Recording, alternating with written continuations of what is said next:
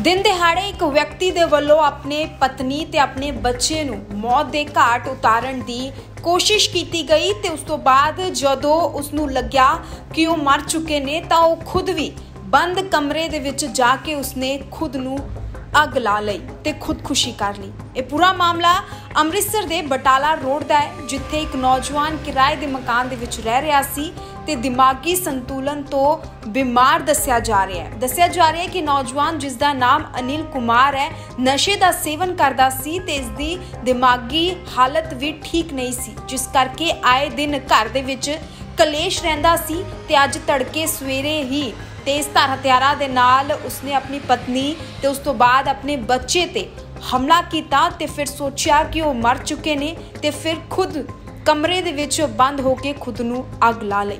ਹਾਲਾਂਕਿ ਜਦੋਂ ਇਸ ਬਾਬਤ ਇਲਾਕਾ ਨਿਵਾਸੀਆਂ ਤੱਕ ਸੂਚਨਾ ਮਿਲੀ ਤਾਂ ਉਹਨਾਂ ਨੇ ਮੌਕੇ ਤੇ ਪੁਲਿਸ ਨੂੰ ਸੱਦਿਆ ਤੇ ਉਸ ਤੋਂ ਬਾਅਦ ਪੁਲਿਸ ਨੇ ਮੌਕੇ ਤੇ ਪਹੁੰਚ ਕੇ ਜਾਇਜ਼ਾ ਲਿਆ। ਇੰਨਾ ਹੀ ਨਹੀਂ, ਜਿਹੜਾ ਬੱਚਾ ਤੇ ਜਿਹੜੀ ਔਰਤ ਸੀ ਉਸ ਨੂੰ ਵੀ ਇਲਾਜ ਦੇ ਲਈ ਮੌਕੇ ਤੇ ਹਸਪਤਾਲ ਦੇ ਵਿੱਚ ਦਾਖਲ ਕਰਵਾਇਆ ਗਿਆ। ਹਾਲਾਂਕਿ ਪੂਰੇ ਮਾਮਲੇ ਨੂੰ ਲੈ ਕੇ ਪੁਲਿਸ ਅਧਿਕਾਰੀ ਨੇ ਦੱਸਿਆ ਕਿ ਇਲਾਕਾ ਬਟਾਲਾ ਰੋਡ ਵਿਖੇ ਇੱਕ ਅਨੀਲ ਨਾਮ ਦਾ ਇਹ ਵਿਅਕਤੀ ਹੈ ਜੋ ਕਿਰਾਏ ਦੇ ਮਕਾਨ ਦੇ ਵਿੱਚ ਰਹਿੰਦਾ ਹੈ ਤੇ ਉਸ ਦੀ ਦਿਮਾਗੀ ਹਾਲਤ ਠੀਕ ਨਹੀਂ ਦੱਸੀ ਜਾ ਰਹੀ ਹੈ, ਜਿਸ ਦੇ ਕਰਕੇ ਉਸਨੇ ਪਹਿਲਾਂ ਆਪਣੀ ਪਤਨੀ ਤੇ ਬੱਚੇ ਤੇ ਹਮਲਾ ਕੀਤਾ ਤੇ ਉਹਨਾਂ ਨੂੰ ਮੌਤ ਦੇ ਘਾਟ ਉਤਾਰਨ ਦੀ ਕੋਸ਼ਿਸ਼ ਕੀਤੀ। ਬਾਅਦ ਦੇ ਵਿੱਚ ਉਹ ਖੁਦ ਵੀ ਕਮਰੇ ਦੇ ਵਿੱਚ ਬੰਦ ਹੋ ਕੇ ਉਸਨੇ ਆਪਣੇ ਆਪ ਨੂੰ ਵੀ ਅੱਗ ਲਾ ਲਈ ਤੇ ਖੁਦਕੁਸ਼ੀ ਕਰ ਲਈ। ਹਾਲਾਂਕਿ ਪੁਲਿਸ ਦਾ ਕਹਿਣਾ ਹੈ ਕਿ ਪੂਰੇ ਮਾਮਲੇ ਦੀ ਜਾਂਚ ਪੜਤਾਲ ਕੀਤੀ ਜਾ ਰਹੀ ਹੈ ਤੇ ਪੋਸਟਮਾਰਟਮ ਮ੍ਰਿਤਕ ਵਿਅਕਤੀ ਦਾ ਕੀਤਾ ਜਾਵੇਗਾ ਤੇ ਉਸ ਤੋਂ ਬਾਅਦ ਲਾਸ਼ ਜਿਹੜੀ ਹੈ ਪਰਿਵਾਰ ਦੇ ਹਵਾਲੇ ਕੀਤੀ ਜਾਵੇਗੀ ਤੇ ਪਰਿਵਾਰਕ ਮੈਂਬਰਾਂ ਦੇ ਬਿਆਨ ਦੇ ਆਧਾਰ ਤੇ ਮਾਮਲਾ ਵੀ ਪੁਲਿਸ ਨੇ ਦਰਜ ਕਰ ਲਿਆ ਹੈ। ਵਿਹਲਾ ਅਸੀਂ ਨਸ਼ੇ ਕਰਦਾ ਸੀ। ਇਹ ਮੇਰੀ ਸਿਸਟਰ ਨੂੰ ਇਹਨੇ ਪਹਿਲੇ ਸਵੇਰੇ ਉੱਠ ਕੇ ਛੁਰੀਆਂ ਛਰੀਆਂ ਮਾਰੀਆਂ ਤੇ ਭਨੇਵੇਂ ਨੂੰ ਵੀ ਇਹਨੇ ਮਤਲਬ ਕਿ ਆਪਣਾ ਛੁਰੀਆਂ ਮਾਰੀਆਂ ਤੇ ਉਸ ਉਸ ਤੋਂ ਬਾਅਦ ਮੈਂ ਮੰਡੀ ਗਿਆ ਸੀ, ਮੈਂ ਫਰੂਟ ਦਾ ਕੰਮ ਕਰਦਾ ਵਾਂ।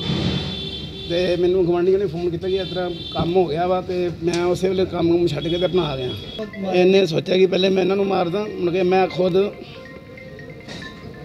ਚੱਕਰ ਹੋਇਆ। ਕਿੰਨਾ ਸਮਾਂ ਹੋਇਆ ਵਿਆਹ ਹੋਏ ਨੂੰ? ਵਿਆਹ ਨੂੰ ਦੇਖੋ ਜੀ 30 ਸਾਲ ਹੋ ਗਏ ਨੇ। 30 ਸਾਲ ਹਾਂਜੀ। ਅੱਜ ਸਵੇਰੇ 4 ਵਜੇ ਇਹਨੇ ਆਪਣੇ ਘਰ ਵਾਲੀ ਨੂੰ ਸੱਟਾਂ ਲਾਈਆਂ ਤੇ ਆਪਣੇ ਬੇਟੀ ਨੂੰ ਸੱਟਾਂ ਲਾਈਆਂ। ਉਹ ਗੁਰੂ ਨਾਨਕ ਦੇ ਹਸਪਤਾਲ ਦਾਖਲ ਨੇ। ਬਾਅਦ 'ਚ ਆਪਣੇ ਘਰ ਦੇ ਅੰਦਰ ਹੀ ਵੜ ਕੇ ਇਹਨੇ ਤੇ ਆਪਣੇ ਕਮਰੇ ਨੂੰ ਅੱਗ ਲਾ ਲਈ। ਤੇ ਕਮਰੇ ਤੇ ਅੱਗ ਲੱਗਣ ਕਰਕੇ ਤੇ ਸਾਹ ਘੁੱਟਣ ਕਰਕੇ ਤੇ ਜਲਣ ਕਰਕੇ ਦੀ ਮੌਤ ਹੋ ਸਰ ਕੀ ਨਾਮ ਸੀ? ਕਿੰਨੀ ਉਮਰ ਸੀ ਸਰ ਇਹਦੀ? ਗਈ ਇਹ ਆਏ ਅਜੇ 2 ਮਿੰਟ ਥੋੜੇ ਜਿਹਾ ਵੇਟ ਕਰ ਲਓ ਮੈਂ ਤੁਹਾਨੂੰ ਦੱਸਦਾ ਨਾਮ। ਵੈਰੀ ਫਰੈਂਡ ਜ਼ਖਮੀ ਕਿੰਨੇ ਨੇ ਸਰ? ਦੋ ਨੇ ਜੀ। ਉਹਨਾਂ ਦੀ ਕੀ ਕੰਡੀਸ਼ਨ ਹੈ? ਉਹ ਠੀਕ ਹੈ ਜੀ ਉਹਦਾ ਆਪਰੇਸ਼ਨ ਹੋ ਗਿਆ। ਤੇ ਉਹ ਠੀਕ ਨੇ। ਜ਼ਖਮੀ ਕਿਹਦੇ ਨਾਲ ਕੀਤਾ ਸਰ? ਕੋਈ ਇਹ ਪਤਾ ਕਰਦੇ ਆ ਜੀ ਇਹ ਤੇ ਜਿਹੜਾ ਆਏ ਆ ਇਹ ਤੇ ਬਿਮਾਰ ਸੀਗਾ ਅ, ਅੰਦਰ। ਇਹ ਜਿਹੜਾ ਇਹਦਾ ਨਾਮ ਆ, ਅਨਿਲ ਕੁਮਾਰ ਹੈ ਸਨ of ਵਿਸ਼ਵਾਮਿਤਰ।